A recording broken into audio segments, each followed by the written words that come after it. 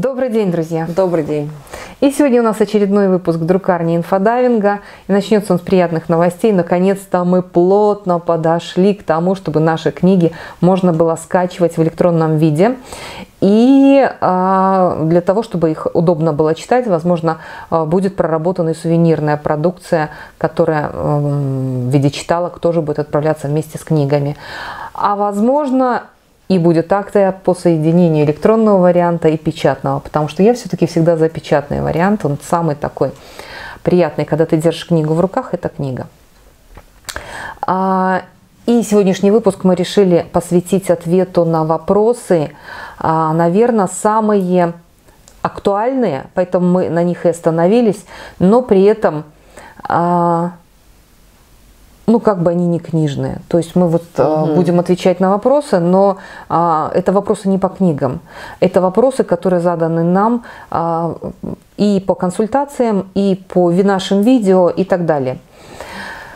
А, и начнем, наверное, с самого такого животрепещущего вопроса – это момент обращения человека за консультацией, а, когда он ее делает, и мы все время хотим, когда он ее заказывает, мы все время хотим, чтобы а, выхлоп был у человека максимальный, чтобы он быстрее, как можно быстрее вышел из заболевания, а, как можно быстрее решил свои проблемы, вопросы и так далее.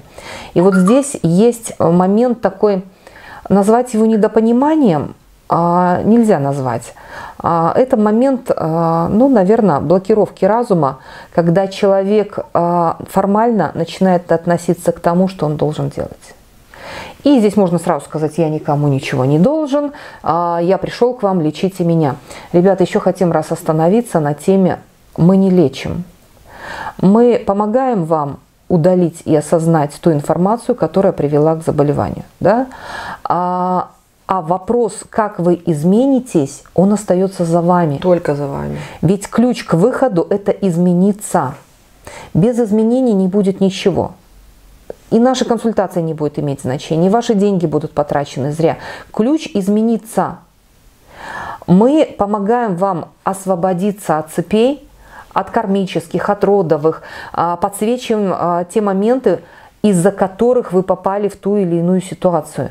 Но дальше надо сделать шаг. Вот этот вот шаг измениться. Почему мы говорим в инфодайинге э, э, эффективность 100%, это когда на 100% работаем мы, на 100% работает человек – и он работает неформально. Потому что когда вот мы читаем вопросы типа, а можно ли делать практику зеркала вот по бумаге, мы, я буду с бумажки читать, как я люблю себя, как я принимаю себя и так далее. А можно ли делать эту практику под музыку, потому что вот под медитативную музыку мне рассказывать, как я себя люблю, а, мне больше это нравится. Можно ли? И начинается, смотрите, это распыление себя – Привязка к внешнему. Вот я такая красивая, я что-то формально делаю. Я формально. Я выступаю, выступаю я. Вот мне так это. Я играю да? роль, делающей да. практику зеркала. Я играю роль, а, проживающей это и это. Я играю роль.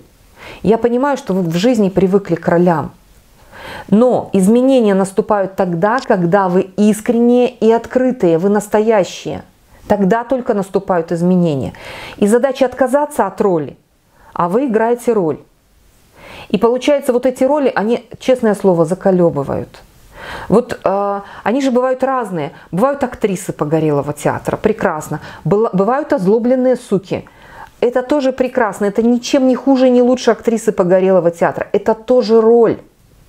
Просто они выражаются в разном эмоциональном фоне. Но вы можете вообще этот фон отключить. Важно осознать и измениться, стать другой. Когда вы уже другая, пускай вы не хорошая, но вы другая, уже у вас есть переключение, возможность выхода. Уже вы ищете выход из тупиковой истории. Но пока вы этих действий не делаете, выход вы не ищете. И очень многие мамы, заходишь к ним в подсознание и видишь, они просто сидят на попе, да, и болтают в чате, в болталке – и потом, вот такая я, и вот такая. Почему я. мой ребенок стучит? Почему мой ребенок бьется головой? Почему мой ребенок? Потому что он устал, он не может до тебя достучаться.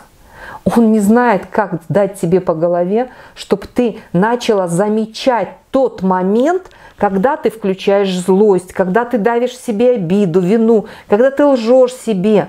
Это же момент, вот момент, вы живете жизнью, действие, действие, действие, действие. И вот в какой-то момент муж приходит и говорит, борщ невкусный. И ты так,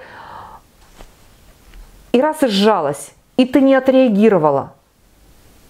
Либо начала лгать, да ничего, я, наверное, пересолила, я под тебя подстроюсь, вот сейчас просочусь под тебя, муж. Да? И пошла лживая реакция. Нет, а что в этот момент искренне хочется сделать? Возможно, вы его действительно там не досолили или пересолили. А возможно, вы можете повернуться и сказать, любимый, я тебе готовила с любовью, у тебя сейчас плохое настроение, и ты сейчас выместил его на, на мне. Я могу тебе помочь утилизировать твою эмоцию. И вы не подстраивались, вы не просачивались под него.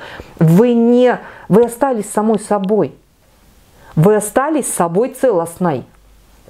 Внутри. Вы не сжали злость и обиду. И так в каждый момент времени. Я понимаю, что это тяжело на ранних этапах, когда вы привыкли быть актрисой погорелого театра. Да. Но это же ваша роль. Зачем вы ее на себя одеваете? Вот где-то ужаться, где-то, ну вот обидели, но я промолчу, потому что будет, можно поругаться же ведь, а, если я не промолчу. И, и как бы мы поссоримся, и, и вот начинают вот эти вот разные, абсолютно разные выходы, лазеечки, ходовки, а где сам нет себя, нет себя искренней. Суть словить направление к себе, иск, то есть почувствовать вот эту себя – настоящую. настоящую и действительно развернуться к себе и начать движение к себе. Вот в чем суть, ключ. Потому что получается ту информацию, что мы даем, вы очень часто футболите, вы ее просто отбиваете как мячик. Вот вам летит э, мячик и вам говорят, э, смотрите, в вашей жизни нету секса нету, и это плохо, это бьет вам по здоровью. А, на эту тему вот очень много сейчас а, вопросов возникает. А, кто-то обращается там с проблемами по гинекологии, кто-то обращается с проблемами страданий отношений, с развитием онкологических процессов и так далее. Очень много приходит, и опять-таки и в аутизме то же самое. И вот человеку говоришь, нужен секс. И что мне делать? Вот как вы мне посоветуете решить этот вопрос? Все, вы отфутболили. Вы отфутболили, и вы отфутболите точно так же любого врача, любого человека, потому что вы не готовы вообще измениться. А надо внутри почувствовать вот этот момент. Да, нужен секс. Да, я понимаю, что а, очень часто в сем... это происходит с замужними женщинами, у которых а, их вот член спит рядом. Вообще спит рядом. И нам задает человек вопрос, и что мне делать с этим членом? Ребят, ну это, это об отсутствии разума о полном отсутствии разума и о полном невзятии ответственности на себя за свою жизнь. Понимаете? И это момент, когда вы чувствуете, как поступить, как проявиться. Чувствуете. Не придумываете, а чувствуете. Это еще и момент искренности в пары именно пары. Если, получается, если у вас напряг с сексом, да, даже если вот, как Наташа говорит, э, рядом же есть, да, а вы задаете вопрос, и что мне с этим делать? Это о чем? Это говорит, а подумайте просто у вас как отношения, на чем они основаны, искренние ли они в таком случае, если вас не тянет друг к другу. И вот эти вопросы, на самом деле, если бы это был один, два, они приходят э, каждый день, приходят пачками а, от мам, когда дети а, им зеркалят их проявления. Я понимаю, как часто мама сжимает себя, когда она в чем-то отказывает, а, когда она себя подавляет, когда она не проявляется. Вот, ну вот, девчонки, вот заметьте этот момент, момент, когда вы сжимаетесь, выскальзываете, уворачиваетесь, отбиваете. Вот это сама точка, момент запуска, когда вы перестаете быть собой. Когда вы начинаете себе лгать и когда вы перестаете быть искренней. Вот в этот момент, вот в этот момент идет закладка заболевания, кармической истории и так далее, сценария на отработку, чтобы вы это заметили и осознали. Вот это вы должны осознать, вот сам момент включения. И этот момент надо сделать другим. Надо просто сделать другим. В этот момент надо вдохнуть, выдохнуть, расслабиться и сказать «стоп». Я сейчас решаю, как я буду реагировать. И я реагирую так, как мне комфортно. И не лгать себе, что мне комфортно сейчас пойти и высказать этому придурку все, что я о нем думаю. Это опять сценическая роль. Чувствуете подмену? Я специально говорю это эмоционально. И вот этот момент, когда вы, стоп, как мне внутри хорошо. И я какая могу... благодарность этому придурку. Да, что он подсветил это и показал это. И вот этот момент между искренностью, вот этой сценической ролью, а, либо а, вот этой образной дамой. Мы, мы ведь очень часто не задумываемся, когда мы одеваем роли. Вот я сейчас пообщалась с живыми людьми, да, я тоже одевала роль для общения. И э, точно так же я видела, я видела, как люди из себя строили бизнесменов, успешных и так далее. Они пытались быть не самими собой. Я вот на каждом человеке смотрела, я уже наигралась, вот так вот. А, и я видела это. Зачем? А на самом деле вот как только а, выходишь, вот все, наигрался, искренность, искренность и все, все вопросы решаются моментально, но только на искренности, только на открытости. И тогда решаются точно так же семейные, бытовые вопросы, любые вопросы, абсолютно. Только когда вы настоящий.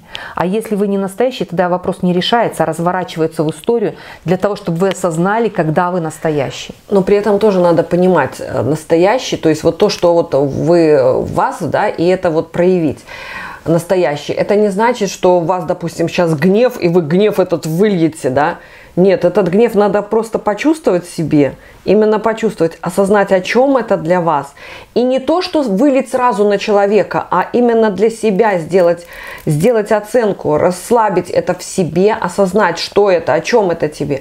Трансформировать это все в да. благодарность. Не, вот именно, что не во внешнее, а именно развернуть к себе лицом, потому что благодаря этому человеку, который у вас вызвал этот гнев, вы видите, вы словили в себе этот гнев. Вот, вы словили словили в себе его, словили, потому что это вы гневитесь, гневитесь, значит, значит, он вас, и вам это просто надо найти для себя, вот именно расслабить вот этот момент, о чем это для вас, почему вас вызывает это столько агрессии. То есть вот она искренность. Искренность это, вот это на самом деле очень хорошо от искренности можно поучиться у маленьких детей. Очень. Наблюдая за маленькими детьми, вот именно их Будьте вот этой как дети, чистотой. Да, да, да, да. Вот это, за этой чистотой и прям открытостью говорить, вот, вот там можно увидеть и научиться. Дети на самом деле нас учат всегда всему, всегда. Больные дети нас тоже учат. Не, не мы их учим. Мы благодаря им себя обучаем, себя выращиваем. А смотрите, мир больного ребенка. Как много мам категорически не принимают мир своего ребенка. А, и опять-таки заметьте, вот вы можете заметить прямо в чате наших мамочек, как происходит движение. Те мамы, которые в какой-то момент приняли мир болезни их ребенка, они приняли, они и осознали мамами, и вошли да. туда мамами. Да, да, да. Вошли всем сердцем, душой, с принятием, с осознаванием. Они просто вот в этом мире растворились и сказали, да, я такая, это мое зеркало. И сейчас это я это зеркало мир. буду мыть, это мой мир. Это тот мир, который я создала, я родила этот мир. Я принимаю его. И вот в этот момент происходит вот это чудо, когда начинает в маме меняться информация, и мама начинает замечать, каким своим моментом, каким своим проявлением, вот этой точкой запуска игры, она спровоцировала появление такого мира в ее жизни. И тогда она может редактировать этот мир, она может его менять. Но пока вы его отбиваете как футбольный мяч, ничего не меняется. И тогда а, каждый раз, ой, я такая, я такая, я такая, и прячетесь, и лжете, и лжете. И вас нет ни там, и ни здесь нет. Да, получается. и в тот мир не вошли. И, и другой вы не создали, потому что вы не можете создать другой, вы создаете только тот. Угу. Потому что на этих реакциях и на этих моментах вы... А, вы такая, какая вы есть, примите меня такой, какая я есть, да, и тогда вот принимаем, вот инвалидность, вот больные дети, вот страдания, вот тяжелое да. заболевание. Тогда мы вас принимаем целиком, вместе с этой кучей навоза, которую вы привезли в тележке. А как иначе? Понимаете? То есть, если э, говорить про вот этот вот момент, мы воспринимаем абсолютно любой и помогаем вам эту тележку осознать и убрать именно убрать. Потому что когда человек, если он зайдет только с осознанием, но у него прицеплены эти родовые программы и кармические, и фильм, и сценарий упакован, и его компьютер забит трояна, троянами, да, а, как-то э, этими вот э, ложными программами, деструктивными, то человек не может измениться. Он просто прижат к стенке. Вот как что-то изменить в помещении, которое полностью забито доверху. Надо его очистить. И тогда вы можете что-то новое поменять, что-то привнести, что-то унести и так далее. Но сперва убирается вот эта забитость. Вот это то, что делаем мы. Потому да, что мы... человек сам освободить это помещение не освободит. И это вот наша задача на консультации. Мы освобождаем. И потом даем человеку свободу. Заполни чем хочешь. Заполни, да. И как и очень часто вот именно, вот можно с этим сравнить. Вот смотрите, приходит человек со своим набором каких-то программ, там набранных, прилетевших вирусных в компьютере, да, при, причем при всем то, что человек увлекался, там, э, открывал такое-то окно, открывал такое-то, приходит к нам, мы очищаем это, очищаем компьютер, да, и важно начать работать, то есть доставать, ну, то есть работать то, что интересно, действительно осознанно, да. А человек, как правило, что делает? А те же опять, на это же пустое, а он а те же опять, бездумно. А, это ерунда. Оно опять натягивается вот это. А потом вирус. вылечите меня. Да. А зачем вы тянете? Да. Вот до банального доходило, когда говорили, дети, например, они будут копировать, они должны быть в среде здоровых детей. Потом читаешь, ой, у меня элитный детский садик, как же я поведу его, не поведу его в этот детский садик для специальных детей, да, а, для особенных детей и так далее. И дальше уже разум мамы решает, я окуну ребенка в ту же среду или не окуну, я буду за него бороться или не буду. И а, замечу, вот мне очень нравится, сейчас есть мамы, которые прошли этот этот этап очень хорошо с гордостью, да, когда они сказали, нет, я откажусь от этих престижных садиков, когда папа, вот вчера написали, а, защитил, отстоял свою дочь, да, чтобы она училась в обычной школе и так далее. Вот эти моменты, это моменты вашей трансформации, это момент, когда вы подошли к этой точке реактивно, и вы можете либо вверх, либо вниз наоборот, вверх-вниз, да, зеркально все время привыкла. Вы можете, и в таком случае а, вы вы принимаете решение. И ваше решение ключевое. Если вы выбрали вниз, то вы снова развиваете ситуацию, чтобы осознать, что надо вверх. Чтобы вы вернулись к себе настоящему. Чтобы вы взяли ответственность э, за свою жизнь на себя. Пока вы ее не взяли, ничего толкового не будет. Вот это очень важный момент. А, и на фоне этого я сразу еще зачитаю а, один пост, это с Ютуба. А, мне очень понравились эти вопросы, я бы хотела, чтобы мы сейчас их осветили и вот в этом видео осветили. А, назрел вопрос про прогибы мужчин. Могли бы вы на эту тему затронуть видео тоже? Где проходит зона ответственности мужчины? Где он решает, и это правильно для женщины? А где она решает? Ключевое правильно для женщины, угу. и она решает. Угу. Не будут ли ее частые решения прогибом мужчины.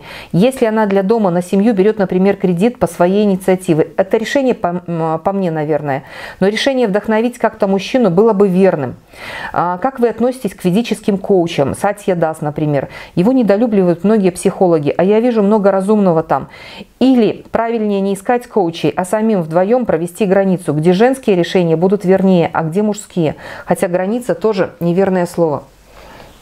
Вот смотрите, здесь, а, вот читаешь сообщение и понимаешь, здесь у человека есть четкие грани, правильно и неправильно. Они сформированы в детстве. Они сформированы дальше жизнью. Но и при этом еще гранями. Вот прям Это все грани, да. грани, грани. Так можно, так, нельзя. А вот так правильно, так неправильно. А кто сказал, что в одной семье, где женщина берет кредит, да, и берет ответственность на себя вместе с этим кредитом, и она же его выплачивает, и она же, она же, она же, она же, она взяла ответственность и сделала. И это правильно для этой семьи.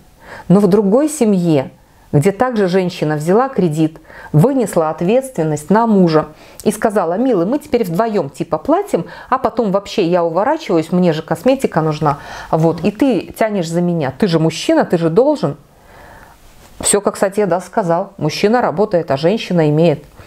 И э, в этой семье этот кредит, он может вообще разрушить и отношения, и жизнь, и все что угодно. И в то же самое время есть моменты, а, где женщина, вот как в моем случае, я приняла в свое время решение, да, я там, а, то, что я вчера на видео рассказывала, я купила эту машину, это было мое решение. И муж, увидя это, говорит, ну берешь ответственность, бери. Но я была счастлива, и я на этих крыльях и бизнесы развивала, и сама развивалась, и, и, и, и. И дальше я счастлива, что я приняла это решение. А если бы я тогда легла под мужем, я бы ходила несчастная, подавленная, меня бы это сжало. И дальше, чтобы было? Вот из, из этого сжатого состояния ты откроешь успешный бизнес, а ты пригласишь сюда известного человека, как тогда я приглашала и так далее. Да никогда в жизни. Ты будешь сидеть и думаешь, я такая маленькая, ну как я могу позвонить этому великому гуру? Это же самый великий экстрасенс в России.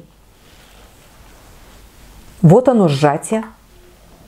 И получается то, что э, для одного человека вот это состояние сжатости такой, я спряталась за мужа, наделала длинную юбку и буду ведической женой, а ты должен, а я буду типа растить детей. И вот эта ложь самой себе, а тебе это интересно? Нет, мне это выгодно. Это об искренности, об открытости, это о честных отношениях. Нет.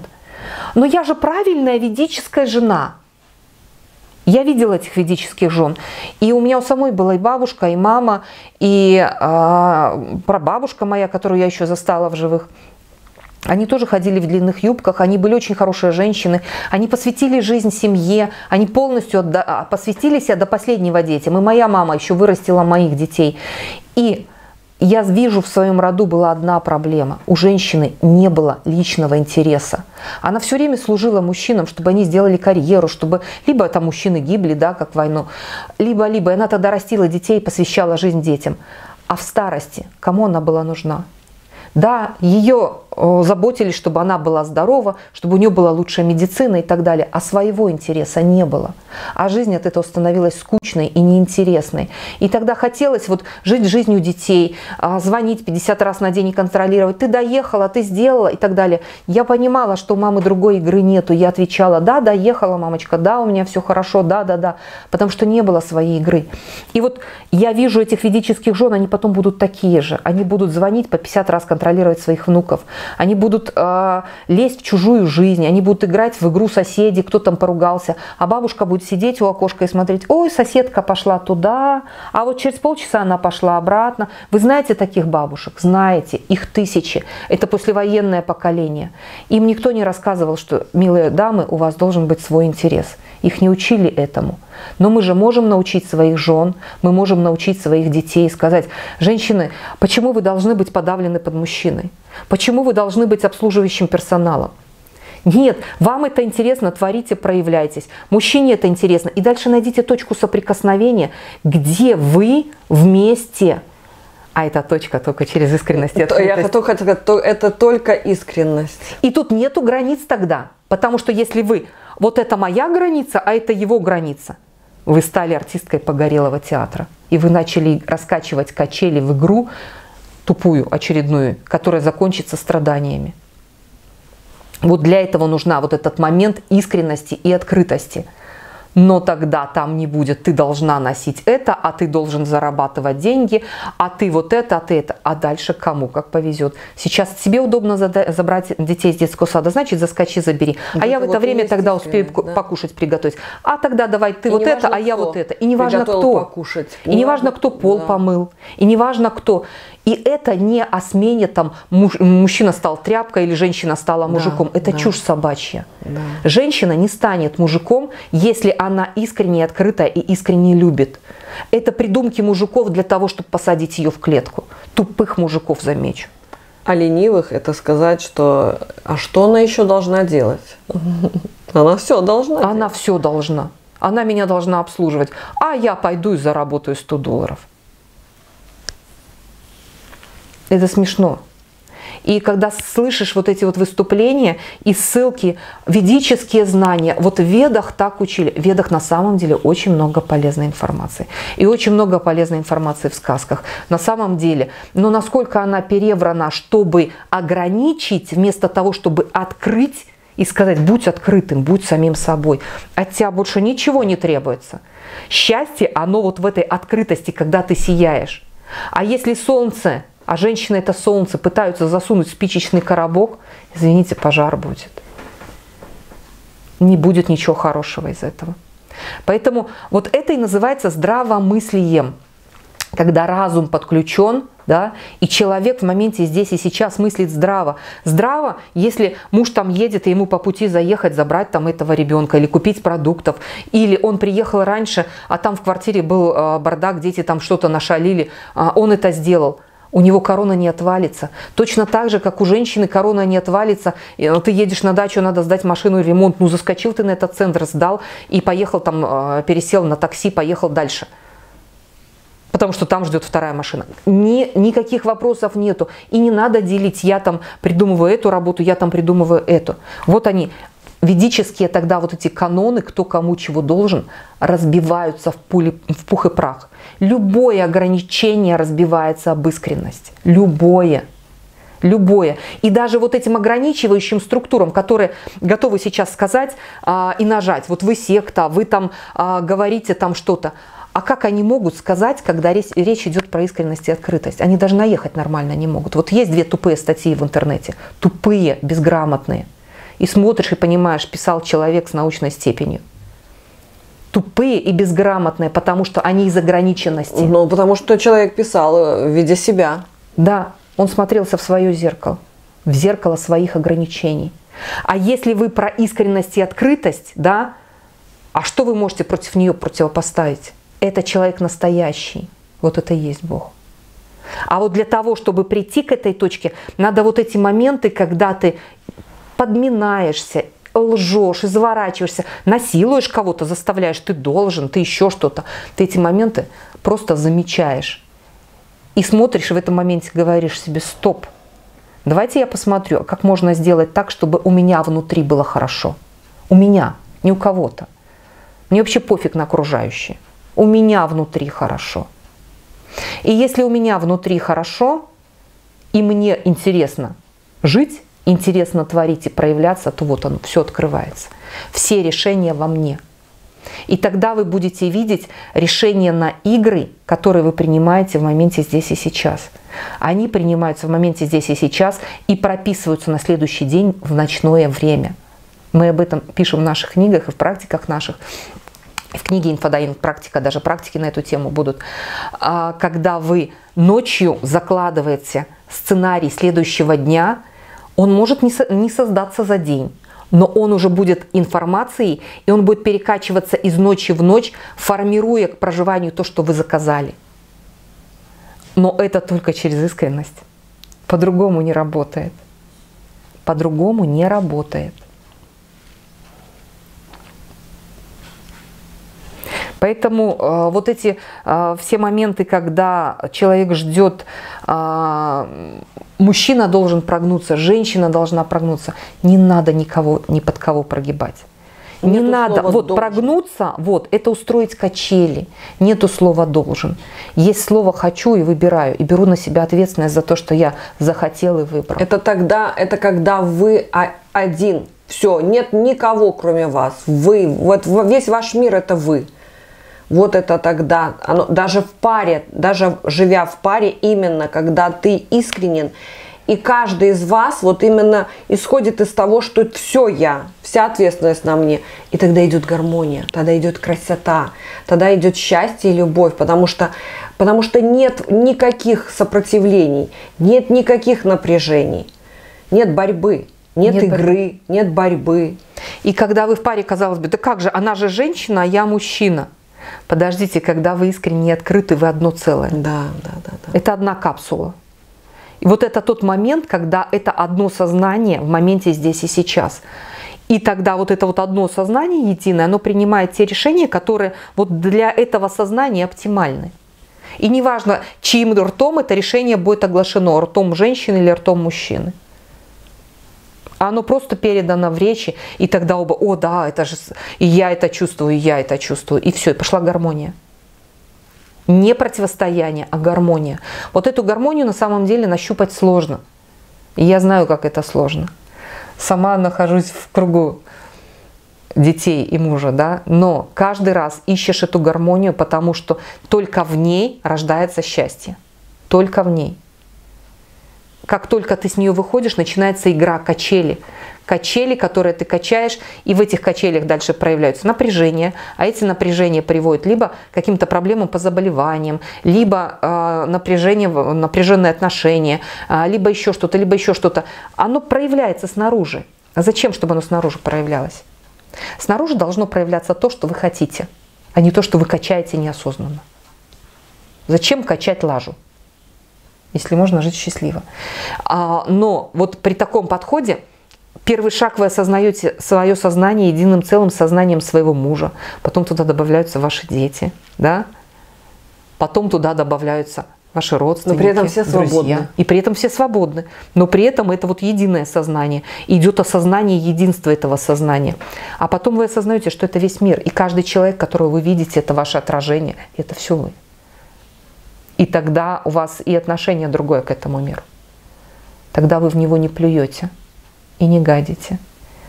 И тогда, если вы видите в, в ответ там а, какое-то проявление, которое вам не нравится, ну там человек, например, ругается, или человек там злится, или еще что-то, вы понимаете, о, во мне где-то это есть. Значит, вот это мне надо убрать, и вот это мне надо убрать, и вот это. И вы осознаете в моменте здесь и сейчас, когда вы уже это споймали, вы можете это удалить. И это постоянная работа. А, это, а, кстати, еще ответ на один вопрос. А, какой курс мне надо пройти, чтобы я стала осознанной? Это об этом. Осознанность – это не курс, это стиль жизни. То есть вы так живете. И это каждый момент здесь и сейчас. И это а, на всю жизнь, и дальше все больше и больше ответственность, и все больше и больше осознанное создание. И каждый момент ты тренируешься и учишься этому, потому что это не свалится, когда вы этому не учились, не свалится вам на голову как дар, как да. манна небесная. А, так надо научиться жить. Это тренировка постоянная. И если, да, да, да, именно постоянная тренировка. И вот она описана в наших и книгах, и курсах, и практикумах, и стримах, везде, абсолютно везде, если вы действительно выбрали направление искренности себя, найти себя, вернуться, вернее, к себе самому искреннему. Вот даже здесь уже он прописан. Даже здесь вы можете просто прийти к себе. Мы предложили вам свой путь, который проходили мы. Да. А, как клубочек. Как клубочек, да. Мы просто шли этим путем, и мы, а, мы показывали, как мы менялись, как мы трансформировались, что мы проживали. Мы понимаем, что уже этот путь, он и написан, и описан, и он отснят на видео. Что самое главное, он остался в курсах. То есть каждый момент мы этому обучаем. То, что делали мы, мы этому обучаем. И это стало стилем жизни и привычкой.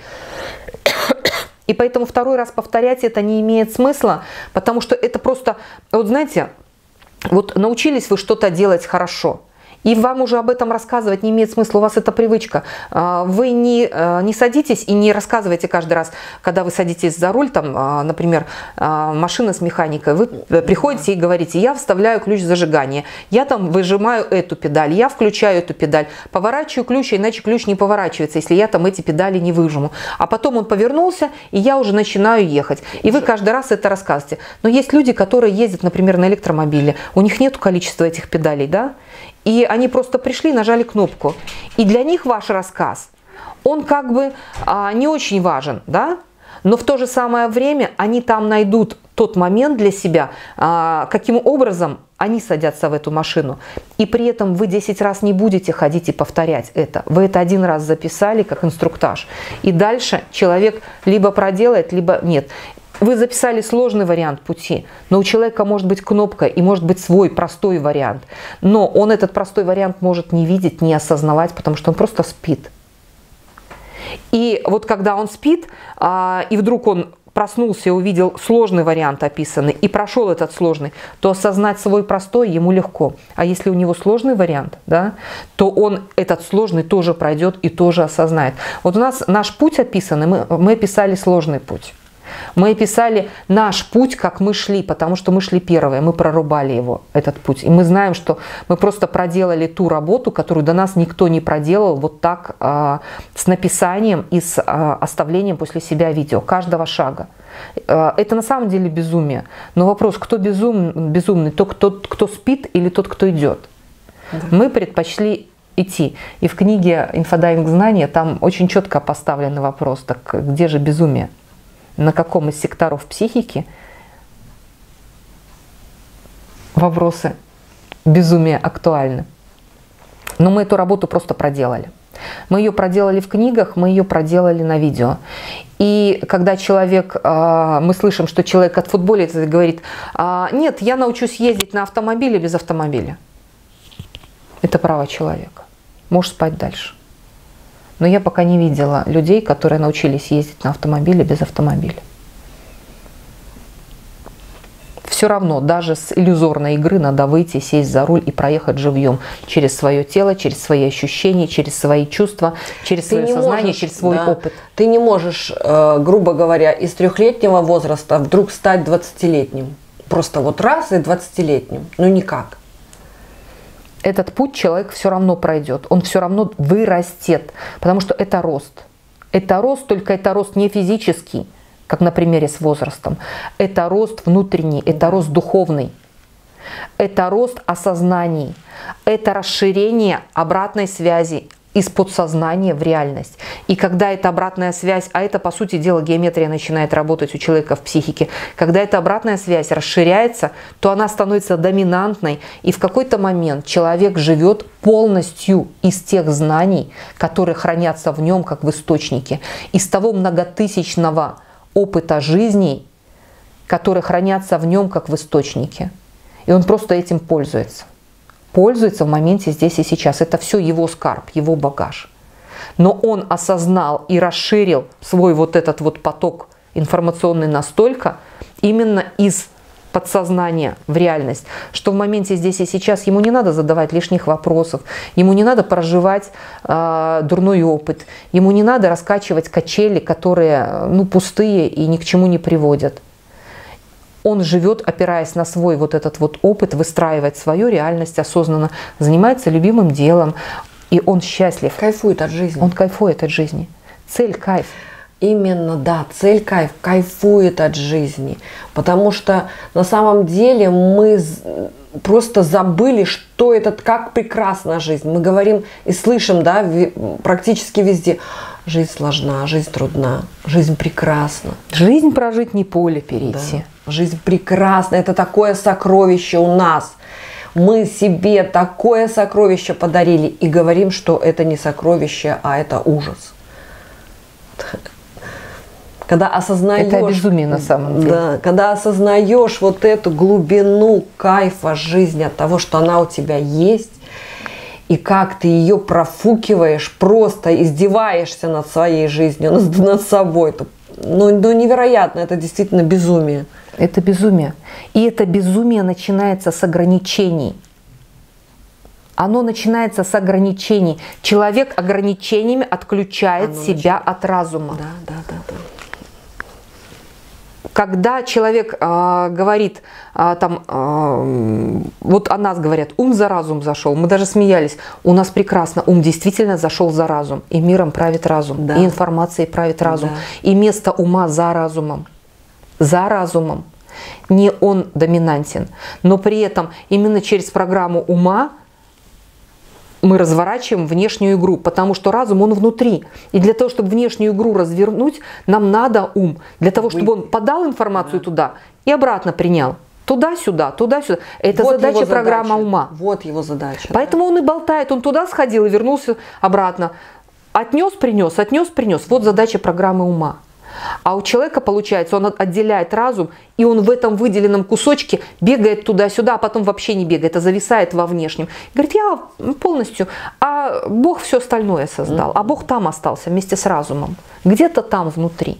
И я туда никогда не заглядываю. И у меня никогда не включаются чувства. Зачем мне этот Бог? Зачем мне этот разум? Зачем мне а, вот э, это все? Я же вот такой маленький, я же скукоженный, сжатый и ограниченный. Вот ограничение программы ума. ума. И потом начинается критика, она правит миром, она приводит к правильным решениям. Никогда критика не приводила к правильным решениям. Критика это она еще ограничение программы ума и погружение в низкие частоты. Обрезание частотного диапазона и получается деструктив, распад, разрушение, разрушение программы ума. Все, вот ваша критика. и кому это надо.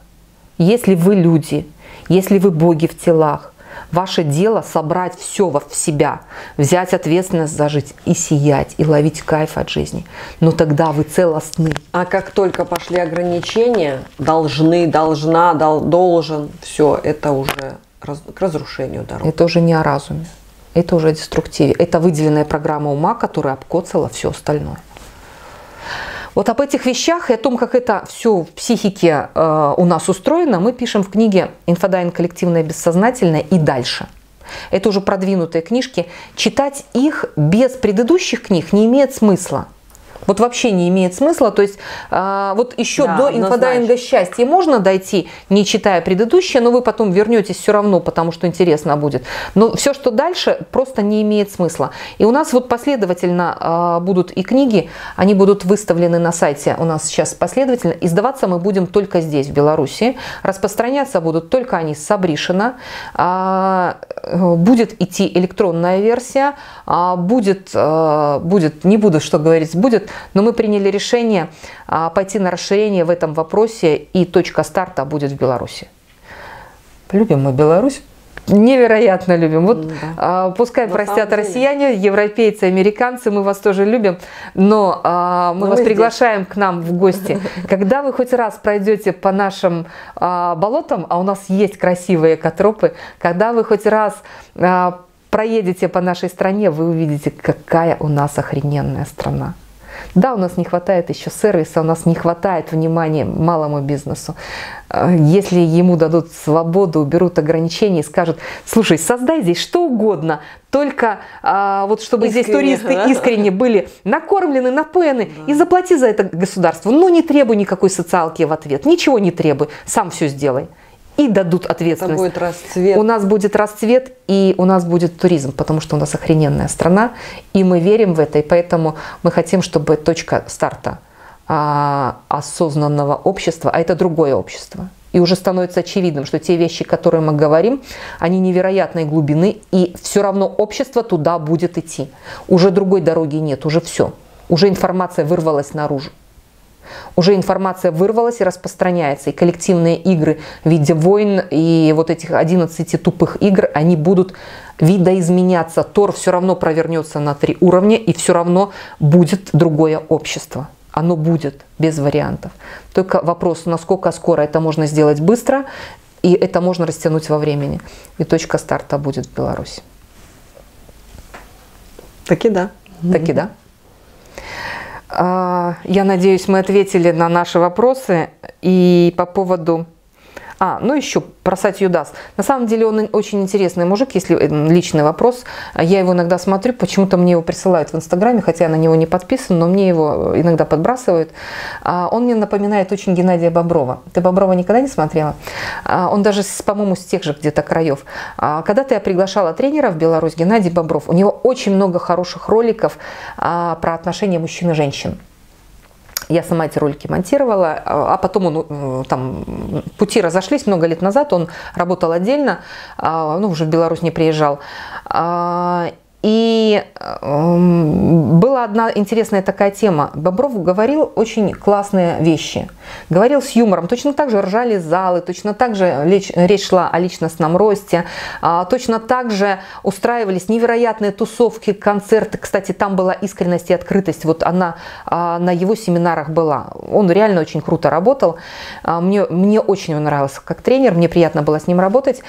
И потом прошли годы, и вдруг э, по обратной связи я узнаю, что там тот развелся, тот развелся, тот развелся. Э, я спрашиваю, что там развелся? А мне говорят, а, так вот там Бобров учил вот так, значит надо вот так. Мужчина должен этот, женщина этот. И переложили ответственность. И переложили на ответственность на Боброва. И я понимаю, понимаете, вот это а, дай человеку нож и скажи, иди колбасу порежь, а он пойдет человека на улицу бьет, скажет, так это что он мне нож дал? И я понимаю, что это тупоумие из-за ограниченности. Человек своими костылями, правильно и неправильно, обрезает себя настолько, что потом даже ответственность переносит на другого тренера. Точно так же а, такой же а, вариант возможен и в жизни Сати Дас, когда на него переложат ответственность за то, что а там семьи сказал, распались. Да, да, да, он же так сказал. Да. А он, он а вообще он не это имел в виду. О, видишь, да. Да. Это о здравомыслии. Если вы подходите со здравым рассудком, и вы понимаете, у Сати классные смешные ролики, там есть суть, да. Во всех роликах есть суть, и это здорово. Суть. И при этом он расслабляет. Он на самом деле, вот его слушаешь, э, он расслабляет. Он, он просто, вот он говоря, действительно суть говорит, да, но при этом в расслабленном состоянии говорит это, в расслабленной информации, информация, которая вызывает улыбку. Но если вы этот ролик сочтете инструкцией... Из ума будете слушать. Из ума, да. да. Из ума возьмете как инструкцию и вынести на него ответственность, вы можете а, его засунуть а, в самое черное болото. Да, да, да, да. И это сделает не Сатья Дас, это сделаете угу. вы. И вы же не возьмете тогда ответственность. А он прекрасно расслабляет, он прекрасно шутит, и у него отличный юмор. И а, он работает в том же сегменте рынка а, семинаров и тренингов, в котором работал Гена Бобров. И там еще один тренер есть, а, забыла фамилию, еще один хороший тренер. Вот их всего три штуки хороших тренеров вот на одном секторе, в одном сегменте рынка работают. Я уже как организатор говорю. Ну, то есть, если бы я выбирала, кого пригласить в Минск, я бы из трех выбирала. А, вот. Поэтому э, я надеюсь, я ответила на этот вопрос. К ведическим коучам, смотрите, если брать вообще ведических коучей, э, я встречала э, ребят, которые работают под прикрытием сейчас, как-то Кришнаиты называется направление. А, вот видишь, ты не в курсе, я просто во всех э, монастырях побыла. А, так вот, а, если человек идет вот из этой кухни, она тоже идет там под ведическими какими-то знаниями, но человек потом ходит у них есть свои помещения, где они там барабаны стучат. Там, вот это. Я, я там была, я сильно не вникала. А, но мне, было, мне интересен тогда был гипноз, и я смотрела, как в разных а, религиозных культурах это все, э, ну, как, грубо говоря, человека можно а, отключить и залить, и потом включить, и он побежал, тык-тык-тык-тык, и робот такой побежал, да. Вот мне вот эти вещи были интересны а, к исследованию, а, и а, я встречала там коучей, которые говорят, и вы знаете, ту чушь, которую они говорят, угу, мне не вот нравилось. Я хотела сказать. Я там было очень много ограничений. То есть там были ограничения по еде. Угу. И потом я видела этих детей, э, у которых анемичные дети, у которых э, в рационе не присутствовало мясо. А, с, я видела детей с проблемами суставов. Я понимала, что их просто не докармливали. Я, я когда вот эти вещи видела, я понимала, что, ребята, это безумие. У меня такое чувство, что вот я слушаю тебя, да, у меня такое чувство, что там отключаешься, наоборот, отключаешь сам себя, вообще отключаешь. Там и чувство, и разум отключаются. Ты становишься правильным. Да. И сценическая роль. Такой. То есть, грубо говоря, на тебя одели сверху наряд 100-килограммовый, и ты этот наряд да, да, пытаешься да. нести и сказать, я ведическая дама. Да выкинь ты и будь самой собой. Ты живи счастливо. Зачем тебе эта чушь нужна? У тебя, у тебя есть свой мозг. Кстати, даже мозг физиологически его отделили, да, чтобы показать, что он у тебя есть. И ты на него сейчас выносишь ответственность да, через науку. А наука сказала, что мозг реагирует вот так и так. И это все мозг создал. Это так. Это так. То есть даже этот момент человек умудрился вынести ответственность.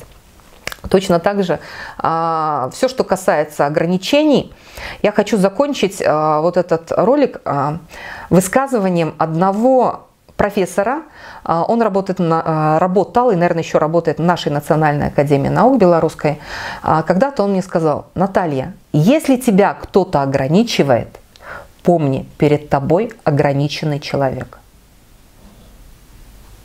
Если вы хотите быть счастливыми, то ваша задача отследить в себе ограничения, потому что на них вы включаетесь реактивно, резонируете – на них вы перестаете быть самими собой, вы начинаете лгать, изворачиваться, вы давите сами себя и так далее. Если вы отследите эти ограничения и осознанно их уберете, вы начнете открываться, вы станете искренними, открытыми, вернетесь к себе настоящему. И при этом станет очевидно, что ответственность за вашу жизнь лежит полностью на вас, не на ком-то, а на вас. И вот этот вот момент открытия – это ваше решение – быть здоровым или больным, играть в тупую игру или создать свою. Это ваше полностью решение, потому что весь мир – это ваше зеркало. Вы смотритесь в него и видите себя. и нету другого мира. И тогда отключаются и астрология, и, и номера, все отключается тогда. И никакая практика эзотерическая с вами не работает. И все влияния и все остальное ничего не работает. Но для этого надо сила внутри. Прийти к самому себе. А сила, она возвращается вместе с ответственностью. Да. Потому что пока вы не отвечаете за себя, какая вам сила? Кто ж детям нож дает? До встречи, друзья. Надеюсь, мы ответили на ваши вопросы. До встречи.